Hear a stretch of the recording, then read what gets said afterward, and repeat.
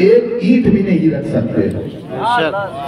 अच्छा इतना तरक्की याफ्ता दौर होने के बाद ये इंजीनियर वो इंजीनियर ये ईटे वो ईटे इस किस्म सीमेंट लगाओ और ऐसी सीमेंट लगाओ सब कुछ किया जाता है।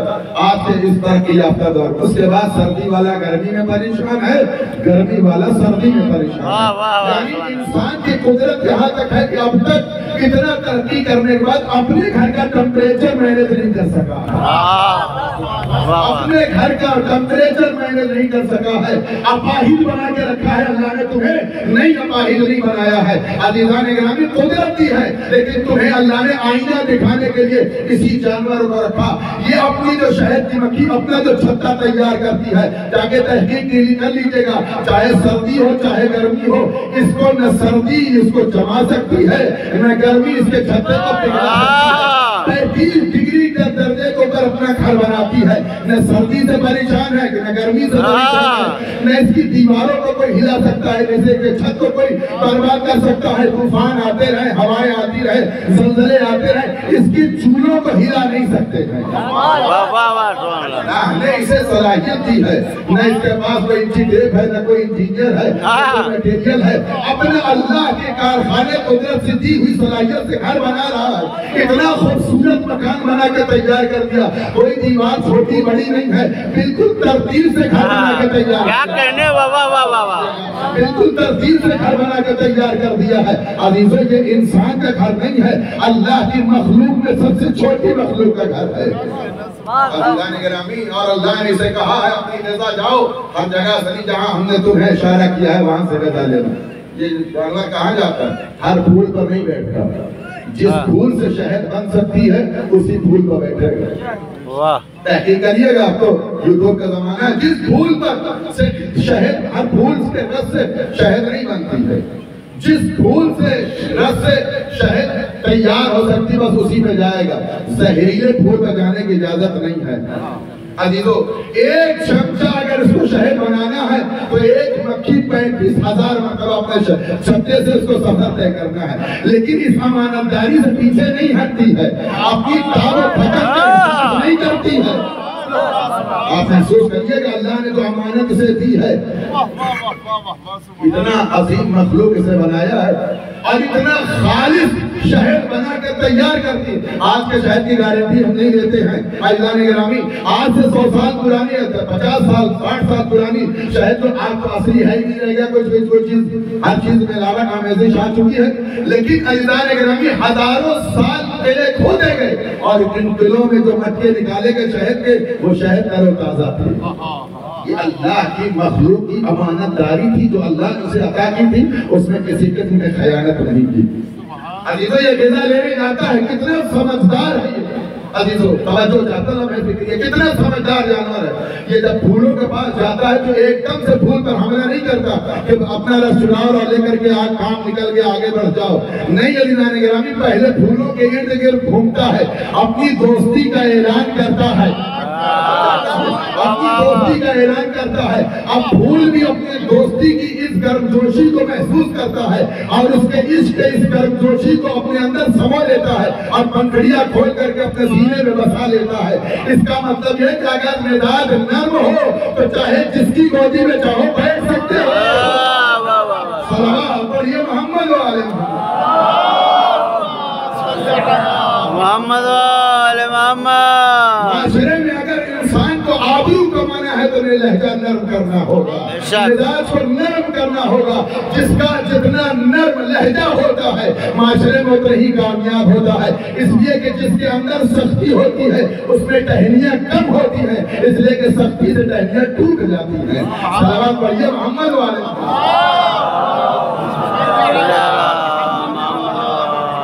इन्होंने ये कह दिया और हमको आँख दिखा दी और हमारे हमसे बोले नहीं, हम भी नहीं बोलेंगे।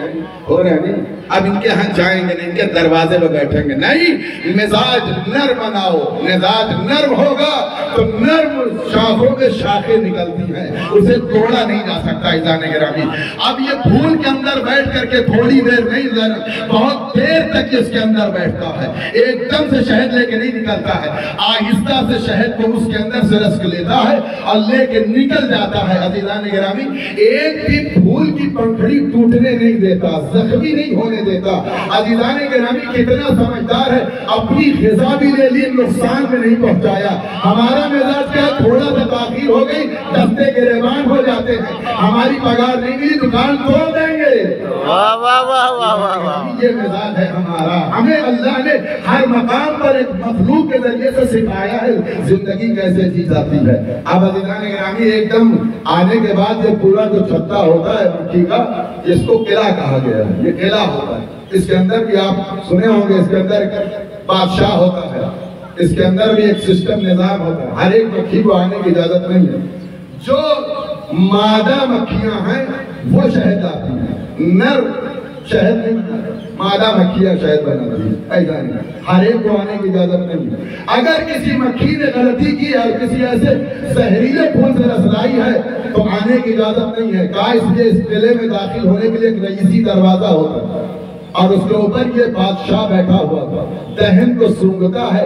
अगर मिजाज के मुताबिक रस है तो आने की इजाज़त है। हाँ। अगर मिजाज के मुताबिक नहीं है तो आने की इजाज़त नहीं है। इस इस छत्ते के ऊपर बैठे हुए इस बादशाह को अरबी में यासूब कहते हैं।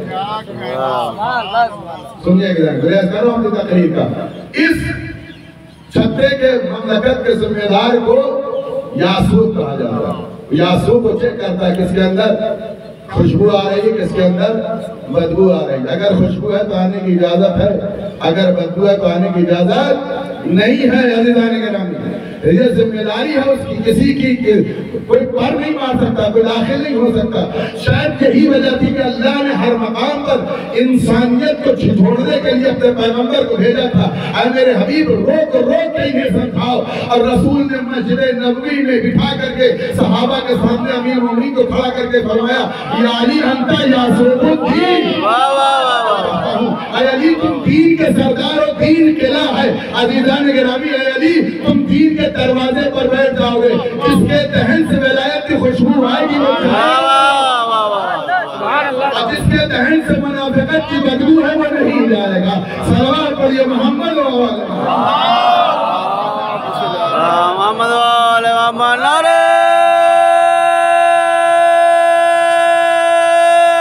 हैदरी नारे सलवार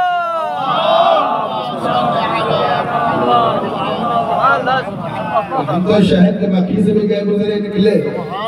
किस्मत में आता शरफ मखलूक है वाह वाह वाह वाह। न मक्खी का मुकाबला कर सके न पत्थर का मुकाबला कर सके। न जानवरों का मुकाबला कर सके।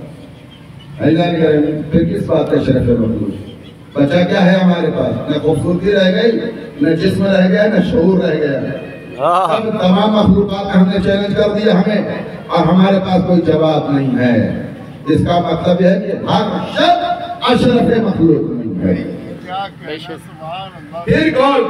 कौन हल करेगा इस कजिए को? तमाम की खिदमत में पहुंचो वो जो कायनात का हुज्जत होता है, जो ज़मीन का मालिक होता है, जो वारिस होता है।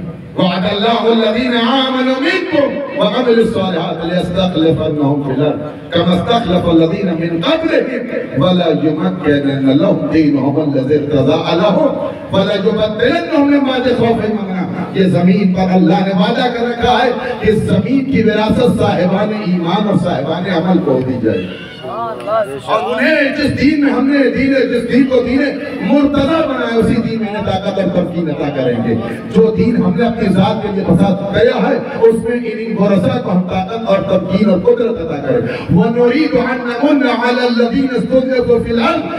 नजअलहुम अइम्मतन व नजअलहुम वारिसिन ये हमारा इरादा है इस रूए जमीन पर उन लोगों को ताकत और तमकीन और कुदरत अता करेंगे और जमीन पर खिलाफत देंगे जिनको तुमने कमजोर समझ रखा है वो कमजोर नहीं है अल्लाह की दी हुई ताकत के जिम्मेदार है। ये ताकत और तमकीन अल्लाह ने उन्हें अता की है, इतनी ताकत अल्लाह ने उन्हें दी है। ये और बात है कि उन्होंने दुनिया में सब्र करने के लिए तुम्हें चलना सिखाया कि हमारा सब्र देख के ज़िंदगी जीना सीख लो। लेकिन अगर हम अपने अख्तियार दिखाने पर आए तो ममलकतें लरसने लगती हैं। ममलकतें लरजने लगती हैं। यही तो है अगर आप सुना होगा ग्रामी यही तो था कि हारून रशीद ने सातवें इमाम को बुलाया और इमाम के सामने से जादूगरों से रोटियाँ गायब करवाने लगा। इमाम खड़े रहे। जब तक इमाम सब्र की मंजिल है तो खामोश है। जहाँ चलवे इमामत अपनी तो ममलकत लरजने लगती है। इमाम ने कालीन पर बने थे उसी के दरबार में उसी की कालीन पर शेर को वजूद देकर बताया देख दरबार तेरा है अख्तियार इमामत का बोल है।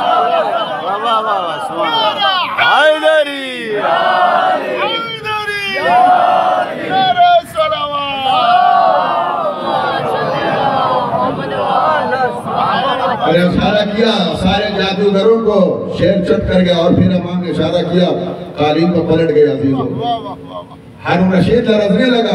फरजंद रसूल ये क्या किया? हमारे जादूगरों खत्म कर दिया वापस कीजिए हमारी ये ममलकत बर्दाश्त कर नहीं कर सकती। हम बदनाम हो जाएँगे। इमाम ने कहा कि अगर मूसा ने वापस किया होता तो सलवा मूसा भी करता। पढ़िए मोहम्मद वाले मोहम्मद मोहम्मद वाले मोहम्मद इमाम होता है, वारिस दीन इलाही होता है, उज्जत खुदा होता है, अल्लाह की बारगाह का तरबियत याफ्ता होता है, मशीयत इलाही का पढ़ाया हुआ होता है, जिम्मेदार दीन खुदा होता है, वारिस कलाम होता है, वारिस रसूल होता है, अल्लाह के कानून आइन का नाफिज करने वाला होता है।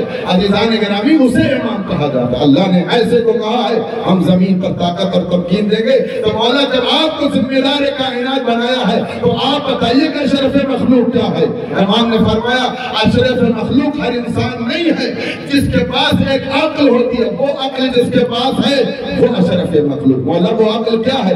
इमाम ने तारीफ़ किया मा उबिदा बिहिर रहमान ऐसा अक्ल जो अपनी अक्ल से अल्लाह की इबादत करे और जन्नत का जिम्मेदार हो। जाए वाह वाह वाह सुभान अल्लाह सुभान अल्लाह हर इंसान अशरफ मखलूक नहीं है।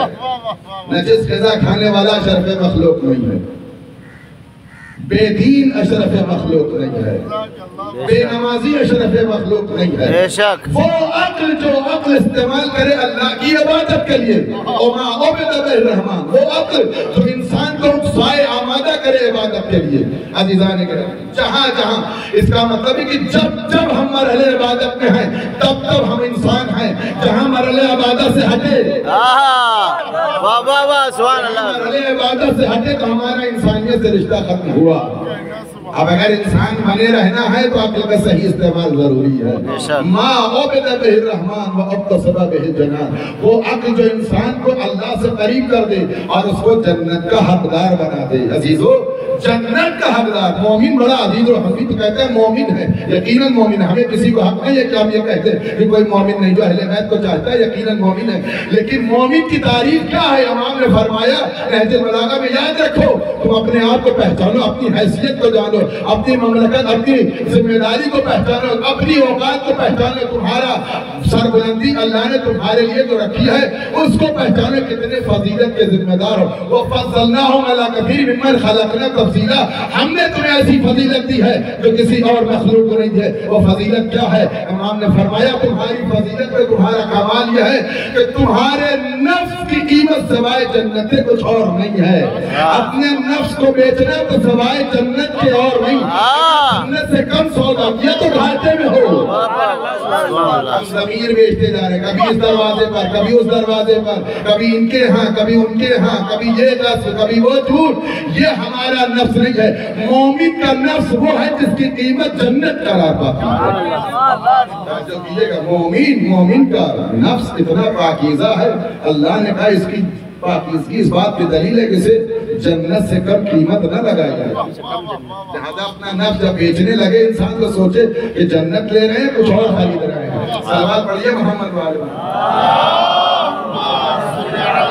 मोहम्मद वाले मोहम्मद। सवाल यह है कि नफ्स बिक रहा है मोमिन मोमिन के नफ्स की कीमत जन्नत है। जन्नत है मोमिन की नफ्स। अब अल्लाह के अच्छा अल्लाह के कारखाने कुदरत में सबसे कीमती चीज़ क्या है? जन्नत। मुसलमान मारा जा रहा है जन्नत। शराबी वो शराबी ये चीज़ वो वाह वाह चीज़ वाह। है। मुसलमान जन्नत जन्नत जन्नत। जन्नत मिल जाए नहीं जन्नत मिल जाए। और अल्लाह ने कहा जन्नत तो हमने मोमिनों को दे दी। जन्नत तो मोमिनों को गई अब जब अल्लाह ने जन्नत मोमिनों के मोमिन कौन है? कुरान मजीद में सैयद मुर्तजा ने खसास रहमा में लिखा कि या अयुहल लजीना आमनु की जितनी आयतें हैं उन तमाम आयतों का सरदार अमीर अलैहि सलाम जिसका रिश्ता इमाम से है वो मोमिन है। जिसका रिश्ता अमीर मोमिन से नहीं है वो सब कुछ है लेकिन मोमिन नहीं है। वाह वाह वाह वाह उसका रिश्ता जिसके दिल में अमीर मोमिन पाए जाते हैं वो मोमिन है। और जिसके दिल में अमीर मोमिन नहीं है वो मोमिन नहीं। नंबर वंबर यहाँ नहीं चलता है। अल्लाह ने अली को पहले नंबर पर रखा है उज्जत के एतबार से ज़िम्मेदारी के एतबार से अगर पहले नंबर पर न होता तो पैगंबर के दस्ते मुबारक पर उठाया न गया होता। ऐसा नहीं अमीर अमीर मोमिन की विलायत को जिसने कबूल किया वो मोमिन है। और मोमिन के नफ्स की कीमत का मस्कम क्या है? जन्नत। हर जन्नत सबसे अल्लाह के सबसे कीमती तोहफे का नाम जन्नत है। सबसे कीमती तोहफा क्या है? बहिश बहिश के आगे कुछ और नहीं है। अब क्या बचा अल्लाह के पास? तो जब मोमिन के नफ्स की कीमत क्या है? तो अमीर मोमिन के नफ्स की कीमत क्या है? वाह वाह वाह वाह जब मोमिन के नफ्स की कीमत क्या है तो अमीर मोमिन के नफ्स की कीमत क्या होता है अब जन्नत अल्लाह के कारखाने कुदरत में सबसे कीमती चीज़ जन्नत थी वो मोमिन को दे चुका। अब क्या दे? बचा क्या है जाने के नाम? अब क्या दे? किस तरह रसालत पर अली आ गए। हाँ। लोगों में से एक बंदा ऐसा है जो किस तरह रसालत पर आकर के अल्लाह की बारगाह में सोता है और अपने नफ्स को बेचता है अल्लाह की बारगाह। अब अल्लाह के बाद जन्नत तो बची नहीं जन्नत को अली के गुलामों का दे दी बच्चा क्या है? आवाज़ कुदरत अली, अब अल्लाह के पास कुछ नहीं। अपना नफ्स हमें दे दो, हमारी मर्ज़ी तुम ले लो।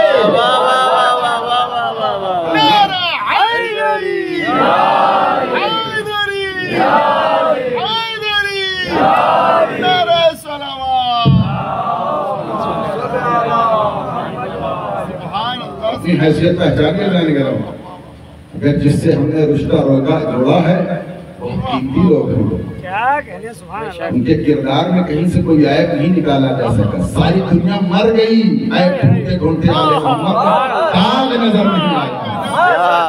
अब हमारे अब के चाहने वालों में इमाम ने फरमाया हमारी सरबुलंदी का बाइस बनना हमारी खुशी का बाइस बनना हमारी इज़्ज़त इफ्तिखार का बाइस बनना। अजीजा एक लम्हा फिक्रिया दे करके बात को आगे बढ़ाऊँगा का मसाइल तुम की कीमत क्या हुई? मर्ज़ी परवरदिगार। सबसे बड़ी कामयाबी क्या है कुरान में? सबसे बड़ी कामयाबी है? कुरान मजीद में कामयाबी के लिए अरबी में तीन लफ्ज़ इस्तेमाल होती नजात, फलाह और फौज। नजात का मतलब कामयाब होना। फलाह का मतलब भी कामयाब होना। फौज का मतलब भी कामयाब होना। लेकिन नजात कहते हैं कि हर उमूमी कामयाबी को नजात कहा जाता है। आप उसको अपनी ज़िंदगी में इस्तेमाल करते हैं। मुझे चलो इस चीज़ से नजात मिल गई दिन कामयाब हो गए इसीलिए जो इन लोग इम्तहान में पास होते हैं नाजिह कहा जाता है, कामयाब होने वाले। तो उमूमी कामयाबी को अरबी में नाजिह कहा जाता है।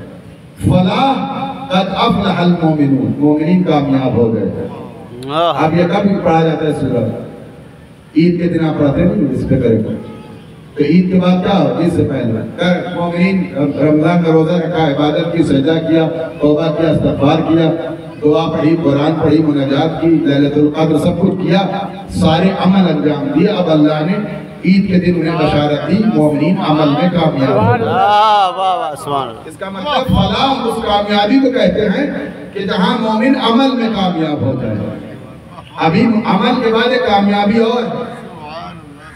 अमल के बाद कामयाबी और। मना मेरा सा? मोमिनुन फलनुहयनु हयातन तय्यबा कि जो मर्द औरत नेक काम अंजाम दे और ये नेक अमल अमल सालिहन मिन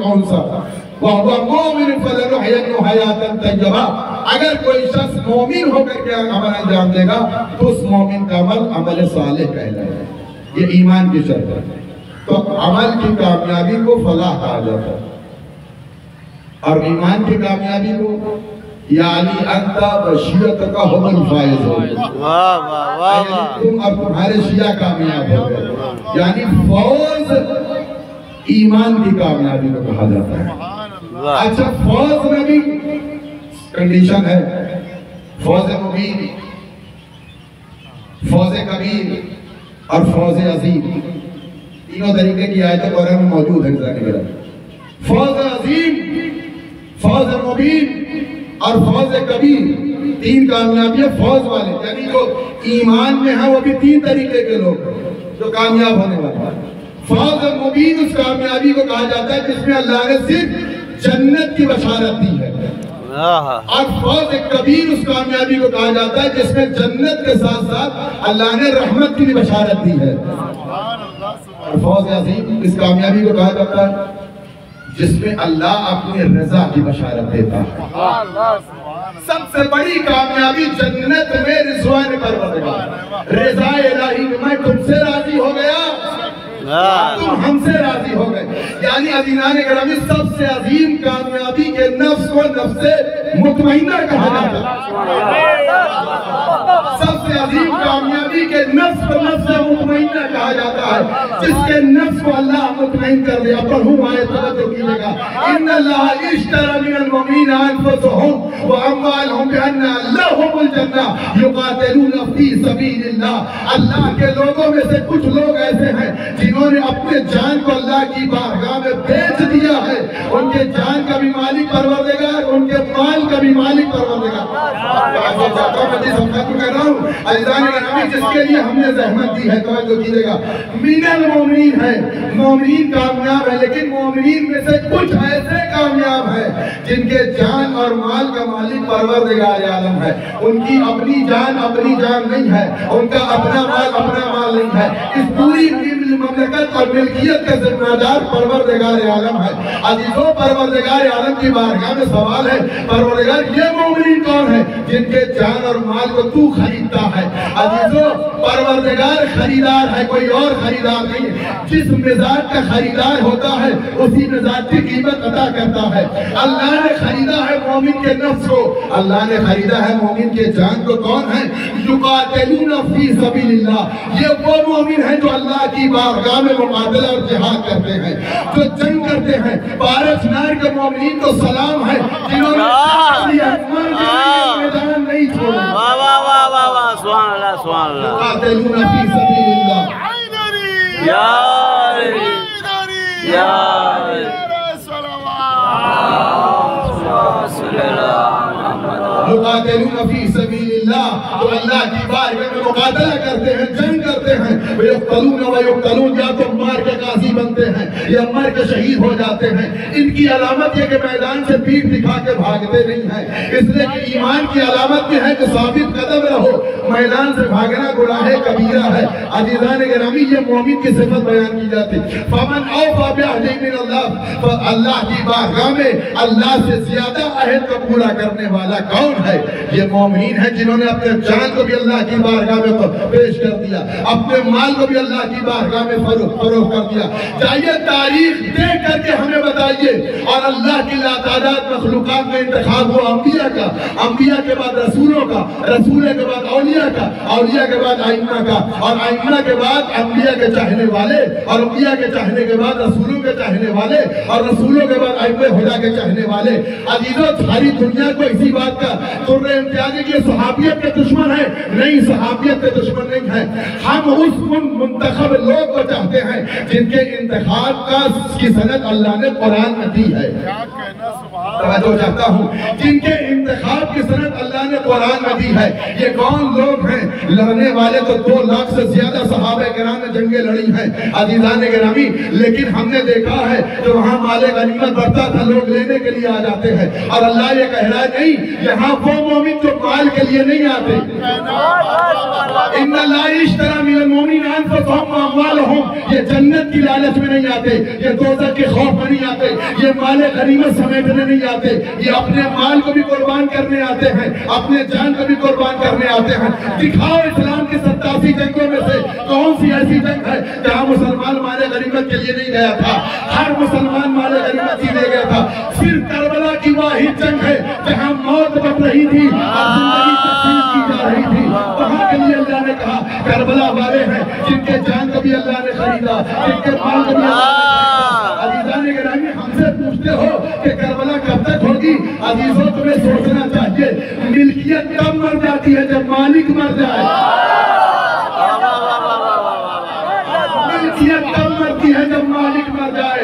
करबला वालों की मिल्कियत का जिम्मेदार कोई नहीं और परवरदिगार आलम इसकी मिल्कियत का जिम्मेदार है। और जिनके यहाँ खुदा मरता होगा हुसैन मर जाएँगे अगर खुदा को मौत नहीं आती तो हुसैन को मौत नहीं आती लब्बैक या हुसैन लब्बैक या हुसैन लब्बैक या हुसैन मेरा हैदरी हैदरी मेरा सलावत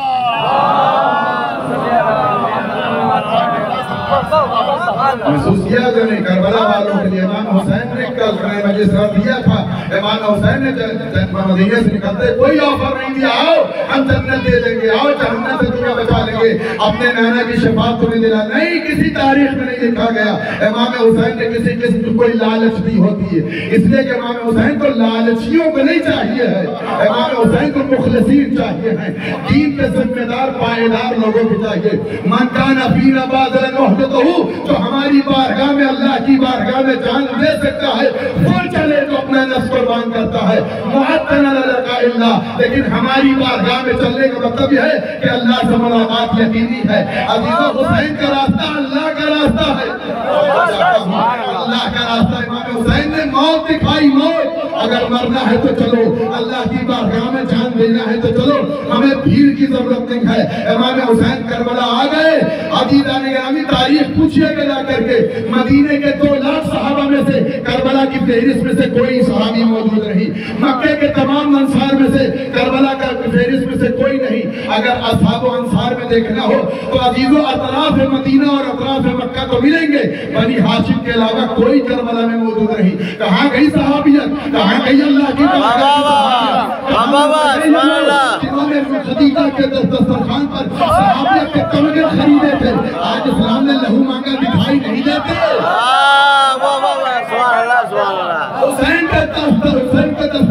में सहाबियत नज़र नहीं आती। हाँ सहाबियत मिली है देखा कहाँ मिली है?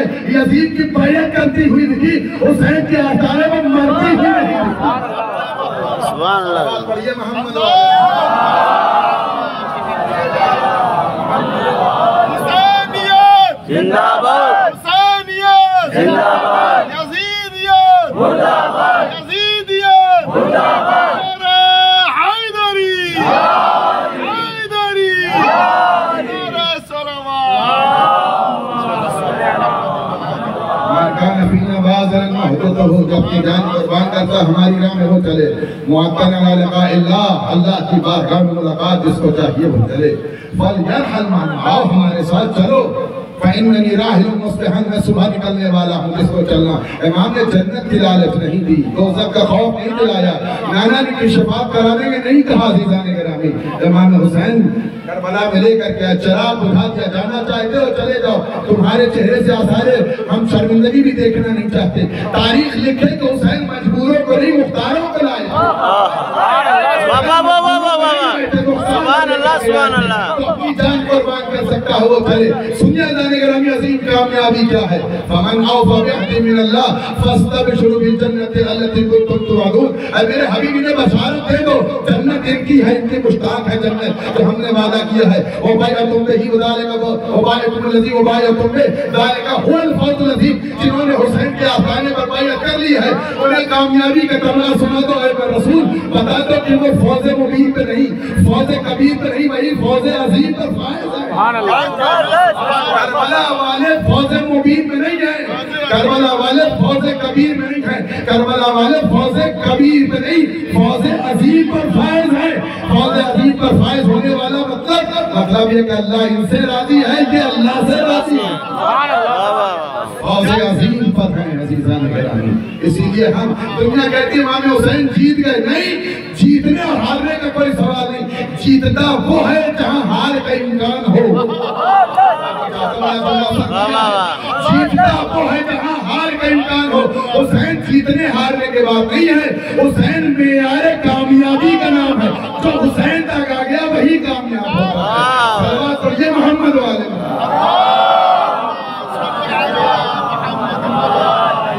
अगर ये ना होता तो करबला सबने क्या पढ़ते या माकुम फाफूज फौज अजीमा ऐ शहदाए करबला काश हम भी तुम्हारे साथ होते तो हम भी फौज अजीम पर इमाम हुसैन से नहीं कहते शहदाए करबला से कहते सुभान वाह वाह वाह वाह वाह। हुसैन फौज अजीम का मेयार है।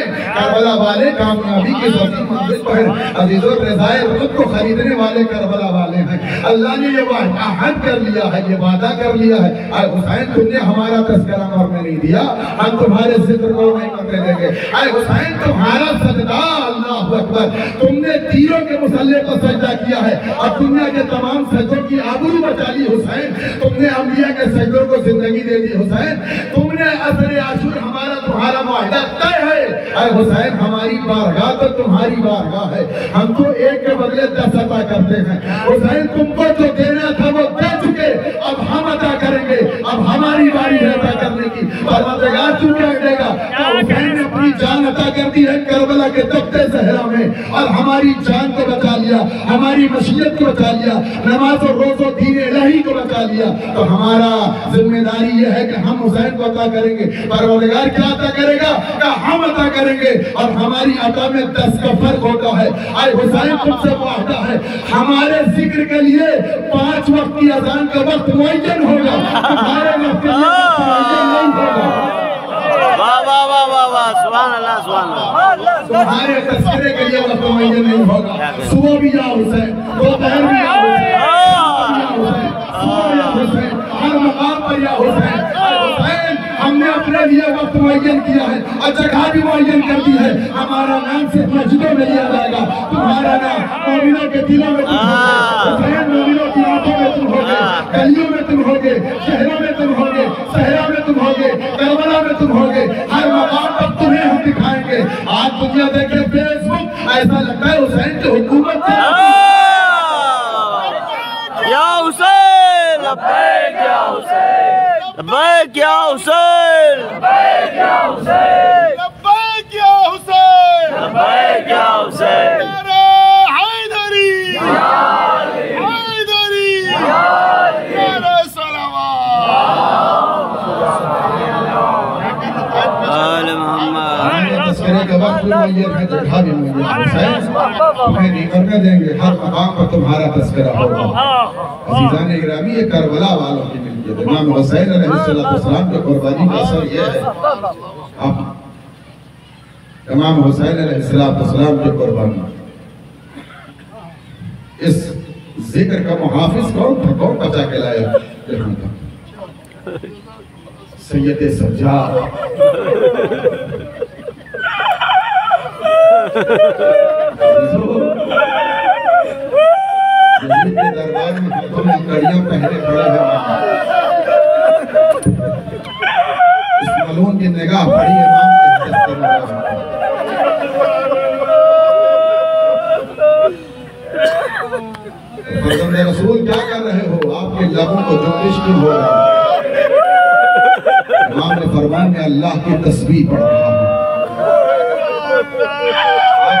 हाथों में क्या है? का मेरे बाबा की खबून आलूद मिट्टी काके करबला है? यजीद मिटाना चाहता था, इमाम हुसैन मिट्टी समेत उस नाम को लेके पहुँचे, उसके दरबार में। सच्चा तुम मेरे बाबा का नाम मिटाओगे। देख, तेरे दरबार में मेरा नाम, मेरे बाबा का तस्करा भी ज़िंदा है, अल्लाह की तस्वीर भी ज़िंदा है। बचा तुझे मालूम होना चाहिए कि मैं कौन हूँ? तुझे पता नहीं है। देख दरबार में तेरी तस्वीर बता रही है। हम नूर हैं। नूर को जंजीर में नहीं बांधा जा सकता। हमें मजरू करके लाया है। हम अपना अख्तियार दिखाने पर आए नहीं जा सकता। देखो, हमें अल्लाह ने आजमाइश में डाला है सब्र कर हैं कितना सब्र किया है सज्जाद ने। हाय हाय हाय।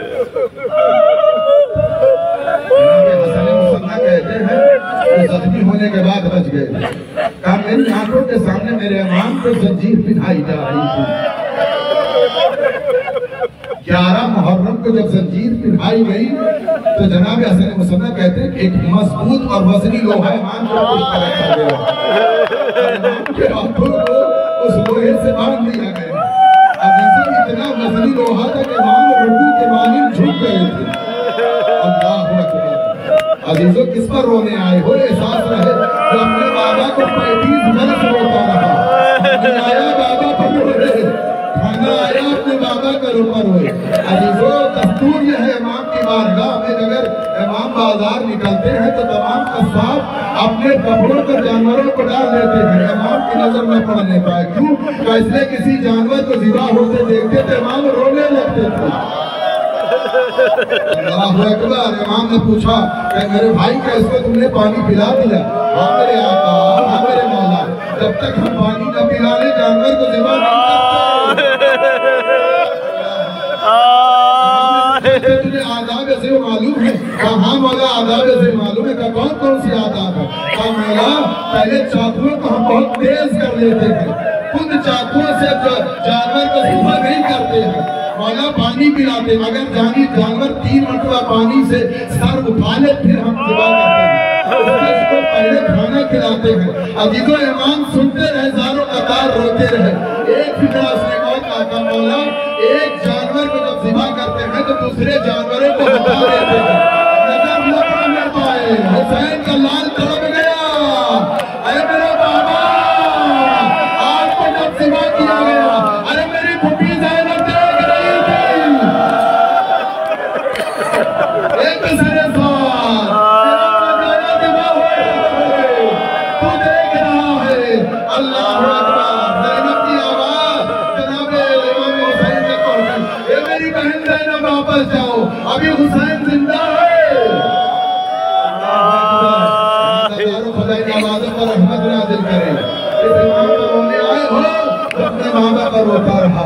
बाबा ये जानवर को पानी पिला के दिवा करते थे। अरे मेरा बाबा बहुत कई दिन का प्यासा था। इतना प्यासा था कि मेरे बाबा को अब आसमान की जानिब सिवाय धुआँ के कुछ नहीं दिखता था। अल्लाह बाबा, आपकी ज़ुबान में तो गांठे पड़ गए हैं, बाबा। अल्लाह अकबर, जनाब हसन कहते हैं, मेरे वाला को में करके ले जाया गया। मेरा इमाम पैदल चलता था। अल्लाह अकबर मजलूम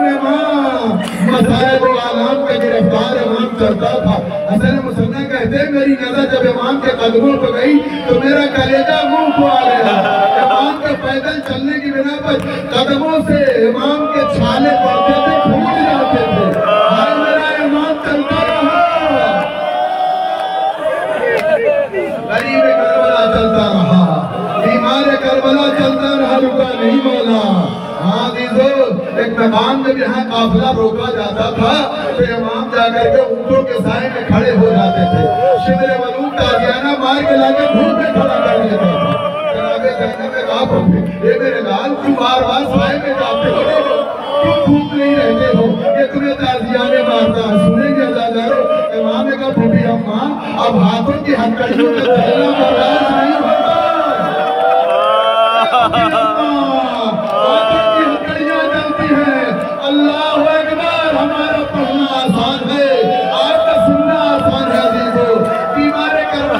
करना एक मकान का काफिला रुका और जब काफिला रुका तो तमाम बीवियों के जनाब जैनब ने आवाज़ दी आओ आओ हल्का बना के खड़ी हो जाओ ताकि मेरे बच्चे की हथकड़ियाँ ठंडी हो जाए कितनी देर काफिला रुका है हल्के में अभी सैयद सज्जाद कर लिया आखिरी जुमला खत्म दो अज़ीज़ हो अगर जुमला कलेजे में उतर जाए तो से नवाजिएगा और अजीजा आँसू न रोक सकेंगे। दीवार करबला की मुसीबत सुनिएगा। इमाम हल्के में खड़े हुए थे, अभी थोड़ी देर गुजरी थी। इमाम ने हल्का तोड़ा और तोड़ने को दोबारा धूप में चढ़ के खड़े हो गए।